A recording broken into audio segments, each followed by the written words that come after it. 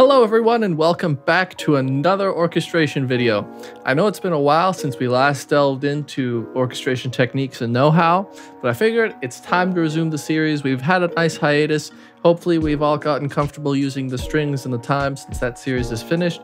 So I figured it's time, let's get back into it and let's keep exploring the orchestra and how to write for it. Now our last installment was all about exploring the string family, writing for orchestra, and how these separate instruments interacted by themselves and with each other. So this time around, we are going to be taking a look at the intricacies of the woodwinds. This includes how they are categorized, how they're used, how they're orchestrated for, and a whole bunch of other topics similar to how we explored the various string libraries. And we're going to be starting off with more of a basic introduction on how they are categorized individually. Now, how do you define if something is a woodwind? Well, in this case, it was just as the name implies. These were instruments made out of wood that utilize wind to create tones.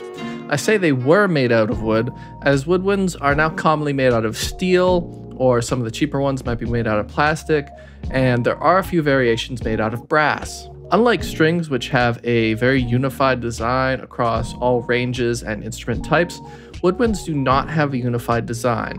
Instead, the woodwind choir is comprised of many instruments with unique shapes, designs, and timbre.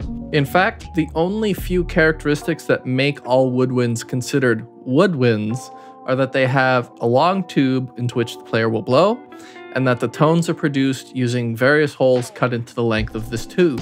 The second characteristic is actually an extremely important one because it's actually the difference between categorizing the saxophone as a brass instrument or a wind instrument. Despite common belief, the saxophone is actually a wind instrument. Most woodwinds will also have mechanical additions now as well, unlike in ye old days of ancient times.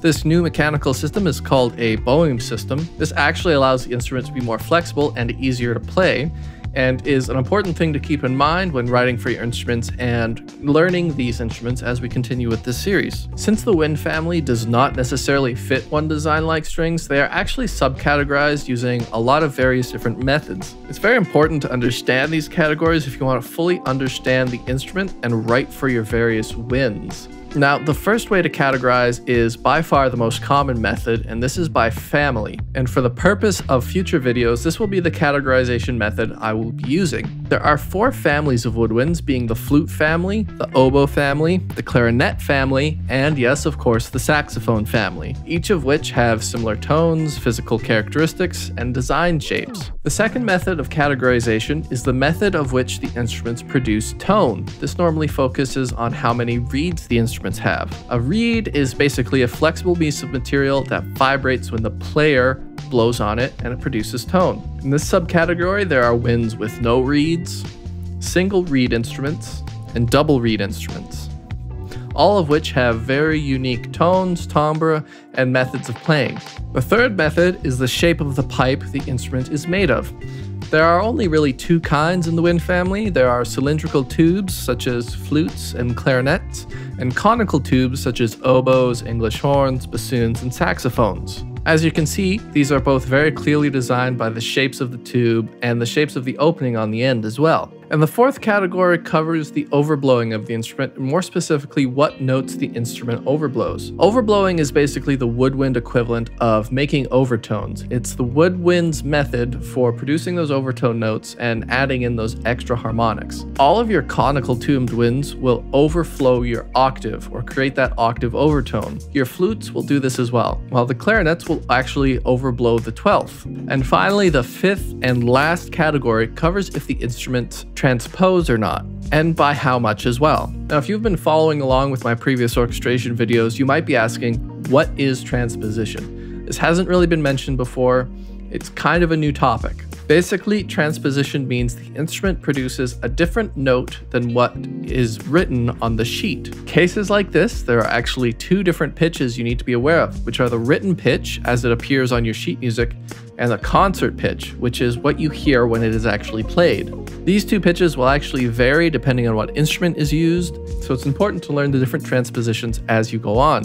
I will of course be covering those as we break down each of the individual instruments in future videos. In this specific category, there are two categories and one of them actually has two subcategories. The first category is of course non-transposing instruments, And then the second category is, of course, transposing instruments. And in transposing instruments, there are two subcategories of those instruments that have fixed transpositions, which don't change, and those with variable transpositions, which can and will change. Now, of course, this is a bit of a complicated topic, so I can just hear someone saying in the background, why is transposition a thing? This simply feels like it's making things more complicated than they need to be. Well, I'm going to be honest with you. If you work with digital libraries and you are a VST library composer, you work in the digital realm, and you have no plans of going and working with live orchestra or furthering uh, your trade in that specific area, transposition will probably never be a thing for you. Or if it is a thing, it will be very minimal and you won't have to worry about it to as large of an extent. But if you work with sheet music, scoring, and live players,